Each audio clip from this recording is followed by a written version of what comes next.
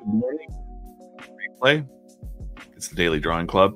We're going to do a drawing challenge today for the next 30 minutes or so.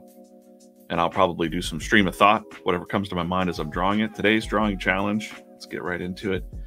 It's Fan Art Friday, and I decided we're going to do some Fallout.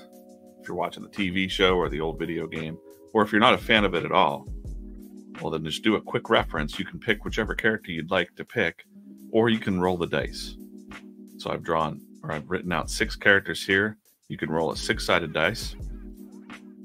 I'm going to do that right now live. So those are your choices the Vault Overseer, Vault 4 Overseer, the Ghoul, which I'm hoping I roll a two, Lucy MacLean, Maximus, Mr. Handy, and Vault Boy. So great. We'll talk a little bit about that. I'm going to move this over. Oh, look, there's a, uh, oh, look, there's a plug for my 8 3 8.30 a.m. stream today. I'll be drawing the uh, VeeFriends comics. There's Empathy Elephant there. Look at that. Not sponsored, just that's just what I do. All right, let's just, you know, give it a, give it a roll. I got a four. Know, what is it? What is it? It's Maximus in like the knight uniform. If you don't know what we're talking about, don't worry about it. Doesn't really matter. I'm actually going to walk you through the whole process right now. So, good morning, everyone. In the chat, it's Friday. We made it. We made it. We made it to Friday. Um, Dan, that stream for VeeFriends will be on all of their channels today. So check that out. It's not scheduled yet. I got to schedule it right after this.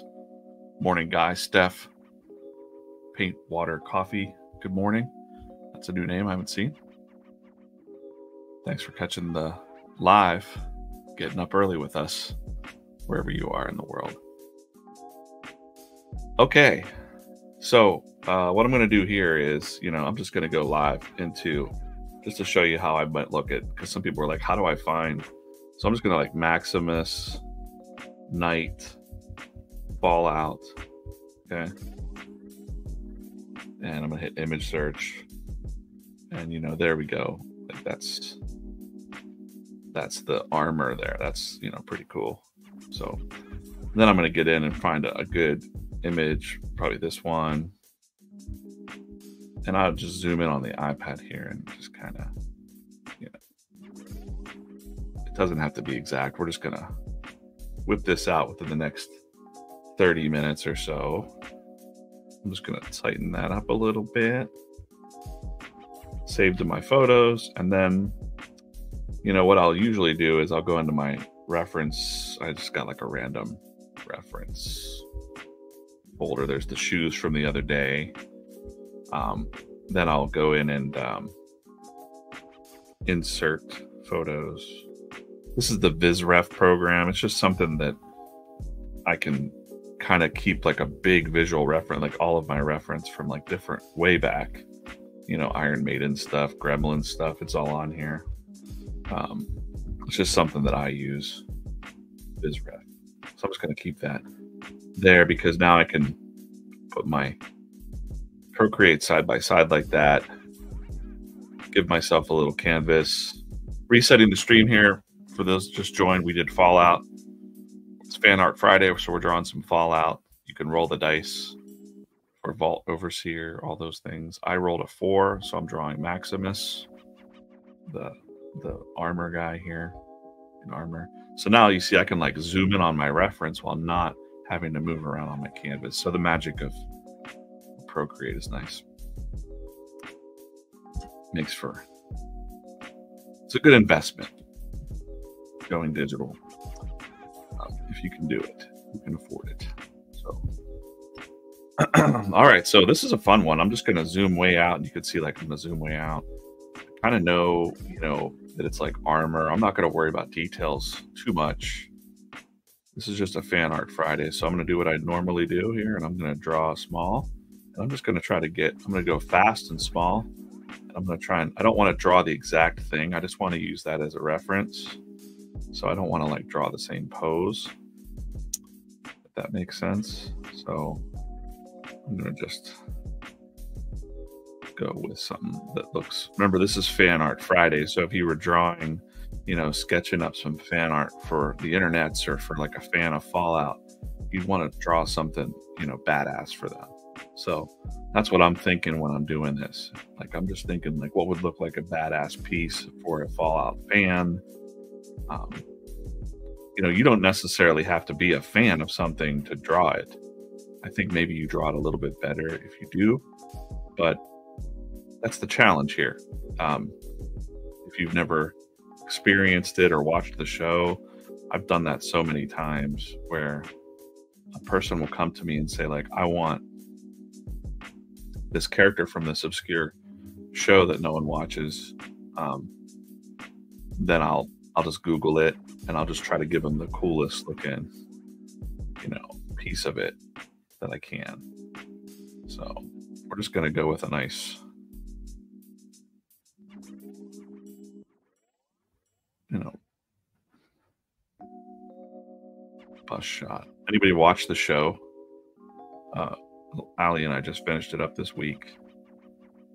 You know, see, I'm still, I'm not just drawing. Everybody's people that are worried about me. They're like, DJ, you never stop drawing, and I'm like, no, trust me, I I indulge in some fiction. I read and whatever, and uh, that's one of the things that we're we watched kind of over a couple weeks of just putting on and you know there's my composition i'm gonna just blow that up as big as i can just so i can get some cool details in there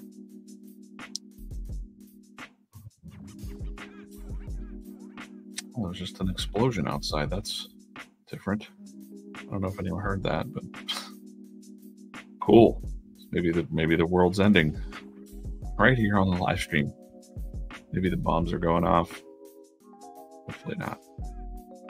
Cool. You know, so I'm not even gonna like. I, I think the most important thing, if I'm looking at this quick, is you know I want to kind of get that Darth Vader looking, you know, mask down. So I'm just gonna kind of get in here and, and just draw that first new layer. And I'll just walk through. This is how these streams go. If you're new to it or if you're watching in the replay, please say hello in the chat or in the comments. And uh, if you have a suggestion for future fan art Fridays or mashup Mondays or whatever we've been doing here on these streams, go ahead and throw them in the comments. I look at all the comments, and that's how we did the Wonka Dune the other day. That was fun. Uh, these have been fun. Like I said yesterday, even when I'm, even when I wake up and you know, you, I'm a human being. You wake up and you're tired, and you're like, "Wait, I got to go do this again because I committed to doing this." But this is fun to do, so it's a good way to to kick off your day. I know that, you know, nobody asked me to get up and draw Fallout today, right? So that's kind of a lesson I do for myself, where I tell my art friends is, you know, I have a million things I could be doing right now, early, seven in the morning. I could be chilling out. I could be, you know, a workaholic, which is what I used to be completely. I'm still a workaholic, but not, believe me, I was 10 times worse. Um, I might be like jumping right into work right now which probably isn't a bad idea because I got a lot to do at work. But you might feel that uh, as far as like, I gotta, I gotta get moving. Every line has to count. If you're doing art for a living, or if you're doing anything really for a living, and you're like every every second has to count towards that, you know, bottom line of what you got to get done in your day. And I think it behooves us all to um, not be like that. Try to find some time, even like a half an hour, like we're doing here. Just set it and go. If you don't have a half an hour, honestly, 10 minutes of just sketching something, hands or life drawing, you know, that kind of stuff is going to be, um, it's going to make your day a little bit better. Trust me you're not going to feel as like burnout with your work or your life or whatever. So just get that little bit of, you know, a little bit of feeling in there for yourself. Or maybe you don't, maybe there's a lot of like retired people too that are watching and stay at home moms, stay at home dads that are just kind of like, oof, you know, like that's a lot. That's a job in and of itself, raising kids and, you know, managing that stuff. I've been there too. Um, we all know that like artists don't make a whole lot of money, or even if you're not, you know, if you're in a single income family, you don't have a lot of money to play with. Um, which is kind of you know that could be tough that could be a struggle. So like drawing is not free but once you have the basic supplies you know like kind of off to the races a little bit. Spend some time build some skills feel good all for the cost of like a pencil and paper. So then somebody else said like do you actually do this every day. And uh, I'm like, well, I draw every day, you know. I'm not looking here. I'm not worried about the symbol yet or anything like that. I'm just going to get the basic shape, you know, because this is just practice for you know, the next 20 minutes or so. I might want to just, you know, take a look at his shoulder just because it has a very distinctive shape to that part there. Right. I was really hoping to draw the ghoul today because, like, man, that was such a good character. Cooper Howard.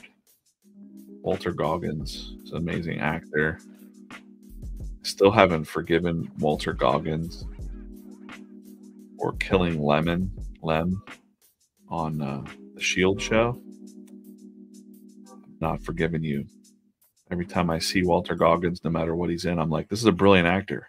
But he killed Lem with a grenade. Said, I got some food for you. And then he like gave him a little bag of sandwiches and then it was a grenade.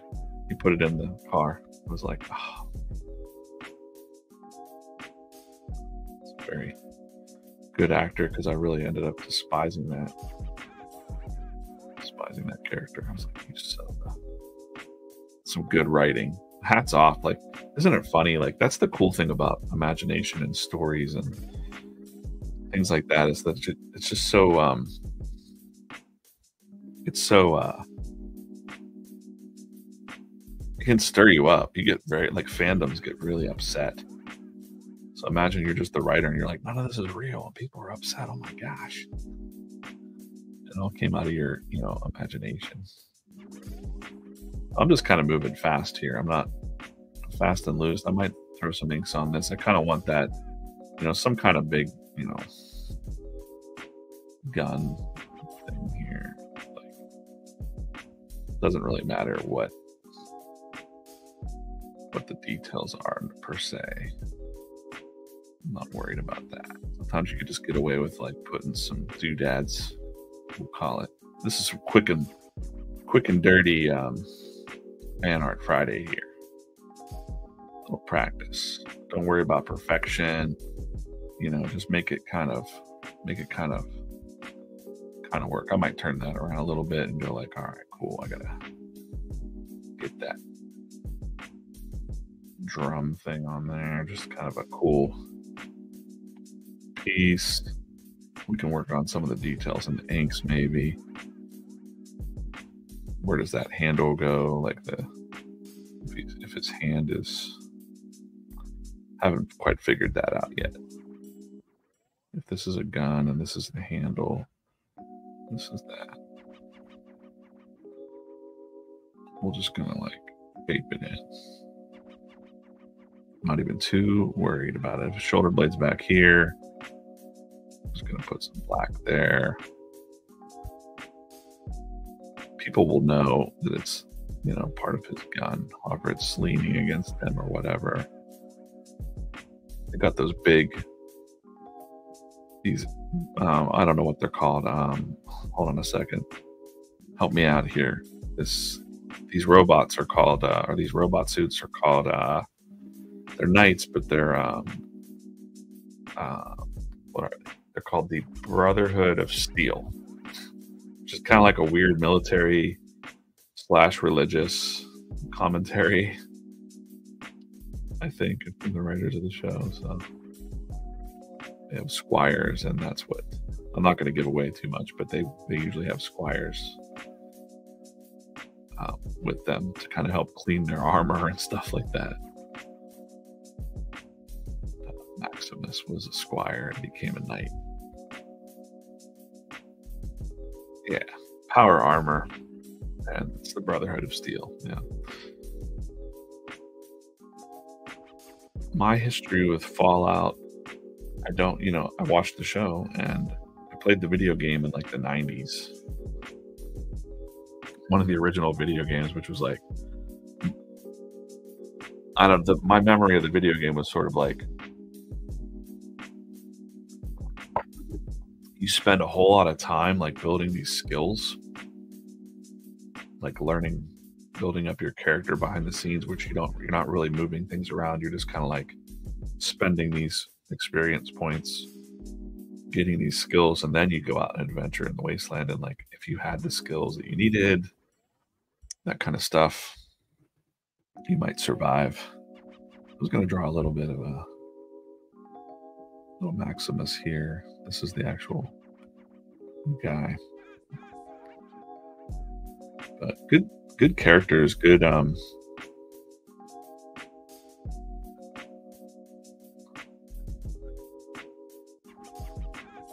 It was weird the first couple episodes, I gotta say, the show. I was like, I don't know how I feel about this because there's a vibe to it. And once I started watching it, I was like, oh, okay. Like, this is the vibe of the video game too to be honest. Like it's very um tongue in cheek on the nose kind of semi political but not it's just enough that like not taking any side or anything like that. It's just like but it also is like the paranoia of nuclear war and corporations and like all that stuff. It's like very it's it really deals with a lot of human problems, you know. Little Maximus face here. See everything we do in the streams as far as like the fundamentals of like haircuts, faces, poses, it all comes together in something that's like a, a fan art piece, you know? Um,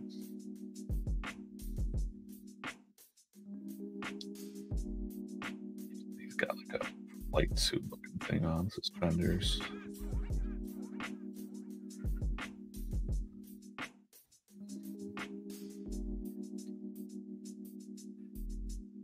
I remember everyone in this that played the game when I was a teenager, they wanted this armor, like something that you found, I think, and it wasn't easy to find or something. And it was flawed and stuff like that. I remember like the flaws, the you would get poisoned pretty easily with everything in the games. Cool. It's 12 minutes left in my timer. I'm gonna just kind of give myself a little bit of. Uh, I wanted to kind of start working on some inks.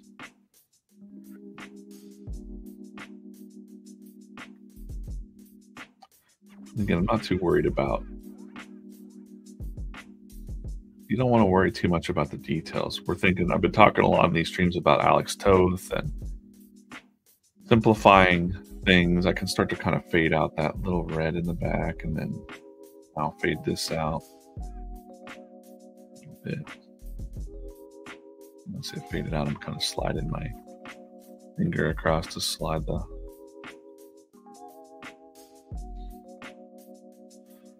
All right. I think I might just throw just enough details of these like ears. There's a sword in there. And these are wings. Right. Just enough that when I'm in the inking stage, and this is again, this is pretty fast and hmm. you know, fast and loose here. Half an hour. Drawing something up randomly. We rolled. Rolled the dice.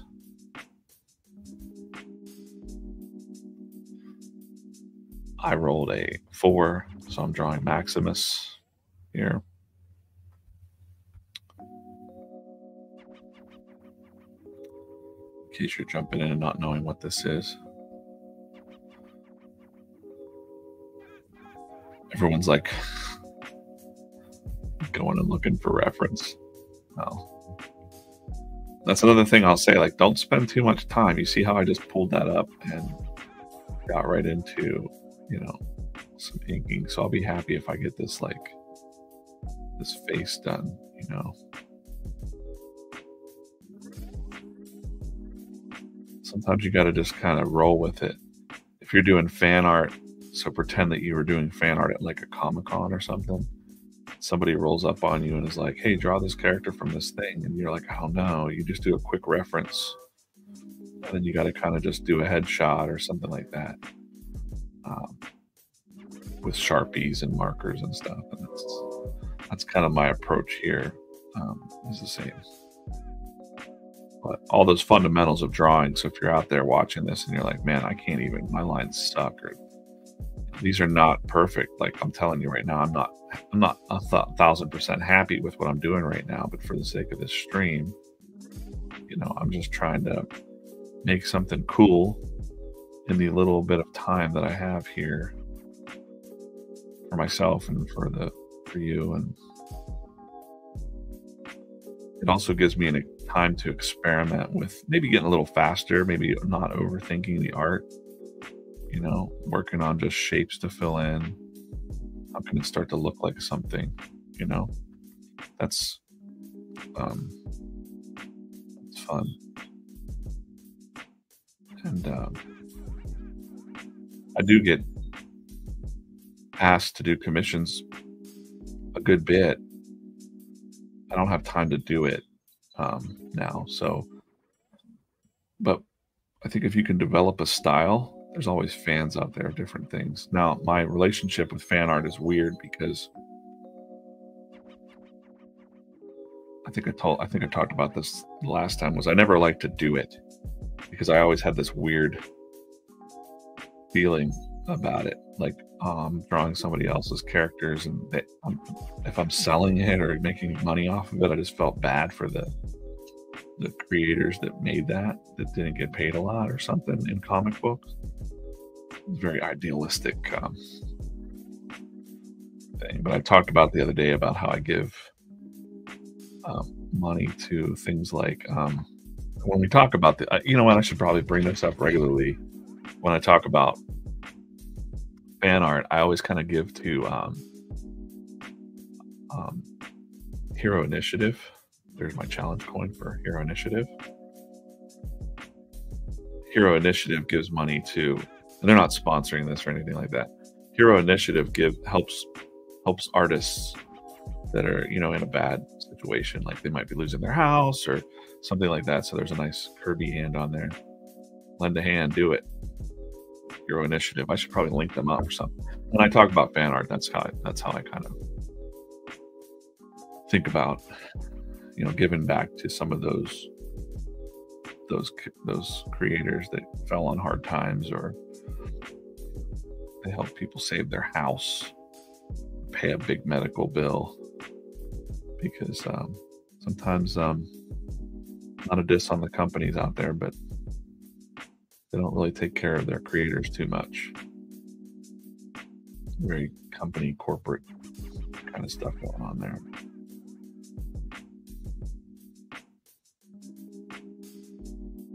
so that's kind of how I got to feeling better about doing fan art.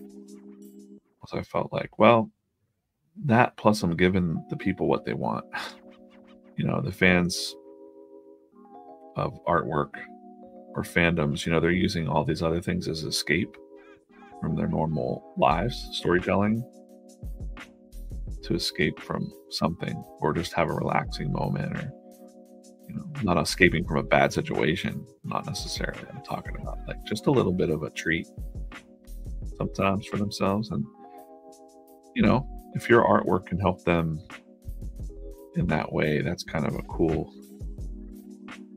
You know, I'm just going to show you how I do how I do this pretty fast. Like I'm not going to worry about too much details. We'll worry about the key points that your eyes might be drawn to. Just a tangent there. I don't want to do that. Don't want that to touch that. Right. And um, so I got like five minutes inking here left. I definitely want to finish up this head.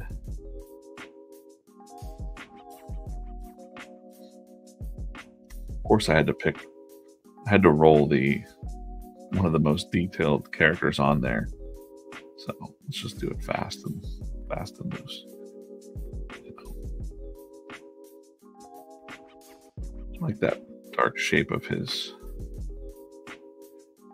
shoulder pad there kind of really frames that in nice. Nope, did it again.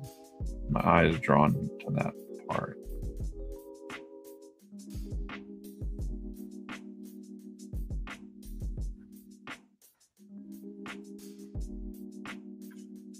Can get away with a lot by just filling in those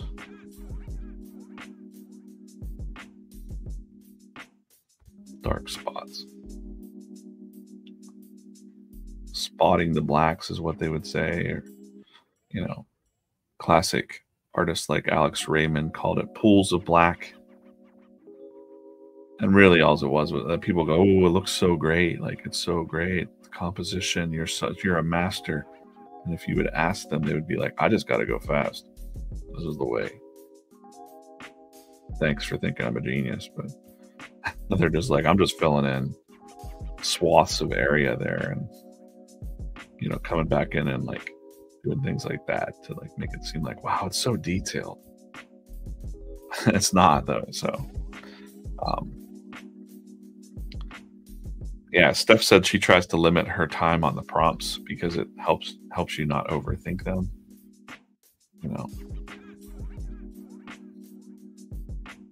for sure. And sometimes it's okay if you fall in and you're like inspired and you got time and you're like, you know what, I want to finish this out. You know, well, that's his shoulder there. So, see, I'm working. You see how I'm drawing like the negative space? I'm not really drawing the figure. that makes sense. So that's another thing to practice in this game that we're doing here. See how I didn't even worry about the lines really. I'm just kind of drawing the shadows. That's a fun trick to do. When you think about, you know, like I said, it almost felt like BS whenever I'd hear artists say, like, well, you know, it is light and shadow and all that. But if it was like, I want to become a master, da da da da, but then when you're in private and you're talking to them and really breaking it down and saying, like, teach me. And they're like, well, I just had to go fast. So I ain't drawing all those lines. I ain't doing the shadowing. right? I'm just going to draw the the shadow underneath the lip. And then when you zoom out, it's right? That's crazy, isn't it? That's the secret of comics and comic strips. You don't have to get look at something like Frank Miller, you know. Someone like Frank Miller kind of mastered that. But when you say mastered, it's like it's an illusion. Like masters of illusion almost. Same thing with like the belts. Might just draw the shadow on the bottom of the belts like that. And not the top. And it still sticks with the fundamentals of lighting. You know, light hits something and it disappears if it's too bright. And on the shadow side, there's the shadows. So there you got like a different quick style going on. You learn how to do this quick with a Sharpie. Know, it's going to mesmerize people at a Comic Con. They're going to take your little comic sketches home and you know, frame them up. I never did it quick like this. I always took about an hour and a half for sketch covers or something like that. But, you know, um, what do we got? One minute left. All right, it's not looking. It's not not too bad. Not too shabby.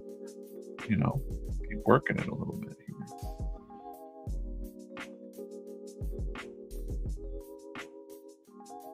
Um, and if you have any questions about art or tools or anything like that, always feel free to comment. Um, I like to hear, I like to see your comments, and um, you know, I get bored sometimes, or I get kind of like, oh, what, what am I doing this for? And then every time I see a comment like on the YouTube channel that's like, saw a comment yesterday that's like, hey man, I watched your video on the prints and it saved me so much money and they're right down the street from me. You know, so he was also able to like find them and like just pick up his prints. I was like, wow, that's great. Even not he's he doesn't have to pay for the shipping or anything like that. Um, or I see like people say like they haven't drawn in ages and now they're inspired to draw. And I'm like, all right, cool. That's why I'm doing it. Can't do much. There's not much I can do. I'm not good at a lot of things, but I'm good at, you know, semi good at drawing and um, inspiring people. So if it's the one thing that I can give back a little bit of my time to do that, I'm I'm down. It feels good.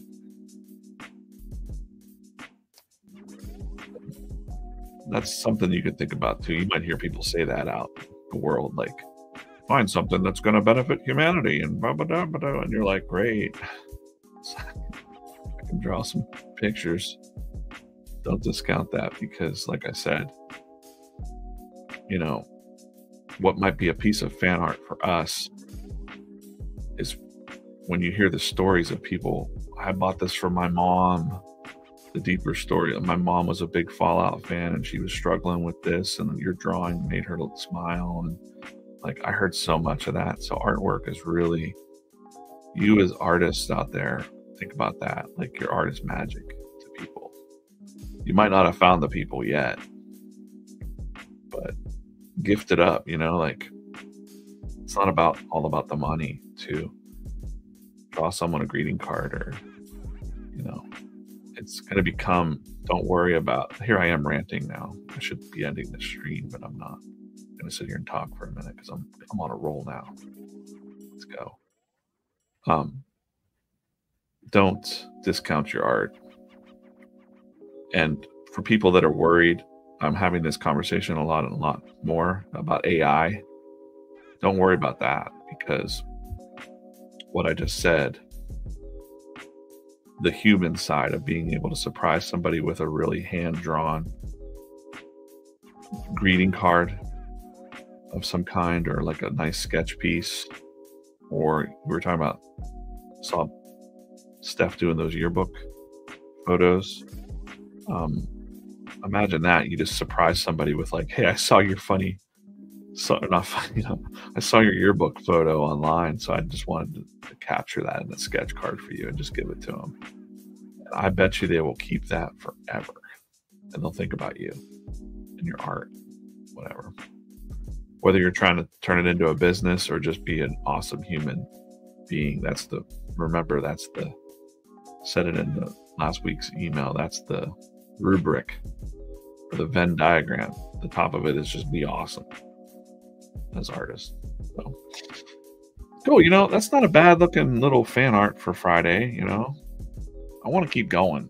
I want to keep. I want to just flesh it all out. Throw some, you know, keep it going. But I got work to do. So this is a, this is looking kind of this is looking kind of bad over here. So I'm just gonna, you know, throw that throw some black in there. Let's just toss it in there. And I don't know. You know, whatever. You just throw some lines in there and just fake it, right? That's the that's the truth. You're just faking some fake it till you make it with the, some of the art stuff, right? Big metal hand there with three fingers. All right, pretty cool. Let's just draw some like wires and shit hanging back there and you know add some weird little details. But we got a nice little human face there. I'm pretty happy with this one. So cool, guys. All right. Probably be back next week. Check the check the emails. Um this is not an outro yet because we have the daily drawing club. Make sure you get in on that. 5 a.m. These drawing streams come out. I want to check the Discord real quick. Forgot to do that. Oh, that's not the Discord. That's the Discord. No pressure here. That's the Steph's uh, yearbook photo from yesterday. I told her in a, on Instagram, I'm like, you know, this would be a good service. I don't know how much you'd charge for that, but like, it's a cool. These these bad yearbook photos from yesterday are drawings are awesome. Such good likenesses, guys. Great, love it. All right, we got a ghoul. Oh man, Walton Goggins is so good. Steph got the ghoul. Steph wins the day. Maybe it's a maybe it's a competition now. And then she also got the uh, the Vault Boy, and she made an ATC of that. I'll do the Reno. the vault, the vault uh, overseer guy is creepy, and Mr. Handy. Oh, yeah, Mr. Handy's fun too, and the voice of Mr. Handy, I forget his name, but um, what we do in the shadows guy is awesome. So this is our um, Discord. There should be a link to it somewhere, but that's the Daily Drawing Club. At 8:30 today, I'll be doing the VeeFriends drawing stream where I'll be drawing on the comic strips. So if you're interested in watching me draw some more or talk about whatever we're working on, uh, VeeFriends. That's my uh, that's my daily the, the, the, daily comic strip we do with uh, Gary V and the rest of the crew at VeeFriends. Okay, that's it. I'm going to put my intro, outro music on. I'm to color this up just a little bit, just a little bit, and um, we'll see you guys. Matt Berry. Matt Berry's a great. Oh, should I say Jackie Daytona?